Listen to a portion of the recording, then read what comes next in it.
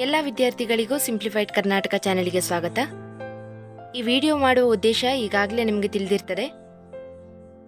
ಈ ವರ್ಷದ ಸಿಇಟಿ ಪರೀಕ್ಷೆಯಲ್ಲಿ ಔಟ್ ಆಫ್ ಸಿಲೆಬಸ್ ಪ್ರಶ್ನೆ ಬಹಳಷ್ಟು ಗೊಂದಲವನ್ನು ಸೃಷ್ಟಿಸಿತು.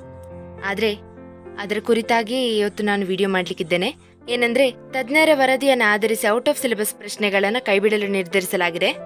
ಭೌತಶಾಸ್ತ್ರದಲ್ಲಿ ಒಂಬತ್ತು, ರಸಾಯನಶಾಸ್ತ್ರದಲ್ಲಿ ಹದಿನೈದು, ಜೀವಶಾಸ್ತ್ರದಲ್ಲಿ ಹನ್ನೊಂದು ಮತ್ತು ಗಣಿತ ಹದಿನೈದು ಅಂಕಗಳ ಪ್ರಶ್ನೆಯನ್ನು ಕೈಬಿಡಲು ತಜ್ಞರ ಸಮಿತಿ ಶಿಫಾರಸು ಮಾಡಿದೆ ಮತ್ತು ಈ ತಜ್ಞರ ಸಮಿತಿ ಶಿಫಾರಸಿಗೆ ಉನ್ನತ ಶಿಕ್ಷಣ ಇಲಾಖೆಯು ಕೂಡ ಒಪ್ಪಿಗೆಯನ್ನು ನೀಡಿದೆ.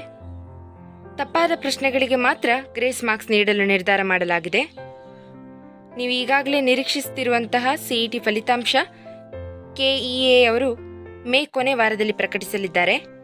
ಮತ್ತು ಉನ್ನತ ಶಿಕ್ಷಣ ಇಲಾಖೆಯವರು ಸಿಇಟಿಯ ಮರುಪರೀಕ್ಷೆಯನ್ನು ನಡೆಸದಿರಲು ನಿರ್ಧಾರ ಮಾಡಿದ್ದಾರೆ. ಇನ್ನು ಅಂಕಗಳ ಮಾನದಂಡ ಹೇಗೆ ಎಂಬುದನ್ನು ನೋಡುವುದಾದರೆ, ಪ್ರತಿ ವಿಷಯಗಳ ಪರೀಕ್ಷೆ ಅರವತ್ತು ಅಂಕಕ್ಕೆ ಇರುತ್ತಿತ್ತು. ಪಿಸಿಎಂಗೆ ತಲಾ ಅರವತ್ತು ಅಂಕದ ಪ್ರಶ್ನೆ ಇರುತ್ತಿತ್ತು. ಈಗ ಔಟ್ ಆಫ್ ಸಿಲೆಬಸ್ ಪ್ರಶ್ನೆ ಕೈಬಿಡಲಾಗುತ್ತೆ.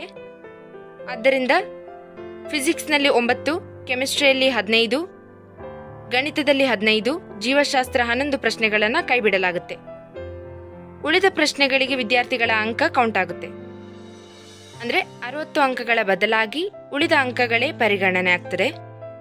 ನಾಲ್ಕು ವಿಷಯಗಳು ಸೇರಿ ಇನ್ನೂರ ನಲವತ್ತು ಪ್ರಶ್ನೆಗಳು ಹಾಗೂ ಇನ್ನೂರ ನಲವತ್ತು ಅಂಕಗಳಿಗಿತ್ತು. ಆದರೆ ಈಗ ಇನ್ನೂರ ನಲವತ್ತು ಪ್ರಶ್ನೆಗಳಲ್ಲಿ ಐವತ್ತು ಅಂಕ ಔಟ್ ಆಫ್ ಸಿಲೆಬಸ್ ತೆಗೆದ್ರೆ ನೂರ ತೊಂಬತ್ತು ಪ್ರಶ್ನೆಗಳಿಗೆ ಅಂಕಗಳನ್ನು ಮೌಲ್ಯಮಾಪನ ಮಾಡಿ ರ್ಯಾಂಕ್ ನೀಡಲಾಗುತ್ತೆ. ಭೌತಶಾಸ್ತ್ರದಲ್ಲಿ ಐವತ್ತೊಂದು ಪ್ರಶ್ನೆಗಳು ಅಂತಿಮ. ರಸಾಯನಶಾಸ್ತ್ರದಲ್ಲಿ ನಲವತ್ತೈದು ಪ್ರಶ್ನೆಗಳು ಫೈನಲ್ ಮತ್ತು ಗಣಿತ ನಲವತ್ತೈದು ಪ್ರಶ್ನೆಗಳು ಅಂತಿಮ. ಜೀವಶಾಸ್ತ್ರದಲ್ಲಿ ನಲವತ್ತೊಂಬತ್ತು ಪ್ರಶ್ನೆ ಲೆಕ್ಕ ಹಾಕಲಾಗುತ್ತೆ. ನಿಮಗೆ ಈ ವಿಡಿಯೋದಿಂದ ಸ್ವಲ್ಪ ಆದರೂ ಹೆಲ್ಪ್ ಆಗಿದೆ ಅಂತ ಭಾವಿಸ್ತೇನೆ. ನಾನು ಆದಷ್ಟು ಬೇಗನೆ ಈ ಇನ್ಫಾರ್ಮೇಷನ್ಗಳನ್ನು ನಿಮಗೆ ತಲುಪಿಸಲಿಕ್ಕೆ ಪ್ರಯತ್ನ ಪಟ್ಟಿದ್ದೇನೆ ಈ ವಿಡಿಯೋ ನಿಮಗೆ ಇಷ್ಟ ಆಗಿದ್ರೆ ಪ್ಲೀಸ್ ಲೈಕ್ ಮಾಡಿ ಮತ್ತು ನಮ್ಮ ಚಾನಲಿಗೆ ಸಬ್ಸ್ಕ್ರೈಬ್ ಮಾಡಿ. ಪಕ್ಕದಲ್ಲಿರುವಂತಹ ಬೆಲ್ಲೈಕನನ್ನು ಪ್ರೆಸ್ ಮಾಡಿ. ಇದರಿಂದಾಗಿ ನಾನು ಮುಂದಕ್ಕೆ ಹಾಕುವಂಥ ವಿಡಿಯೋಗಳ ನೋಟಿಫಿಕೇಶನ್ ನಿಮಗೆ ಬರ್ತದೆ. ನಿಮ್ಮ ಫ್ರೆಂಡ್ಸ್ಗಳಿಗೂ ಶೇರ್ ಮಾಡಿ. Thank you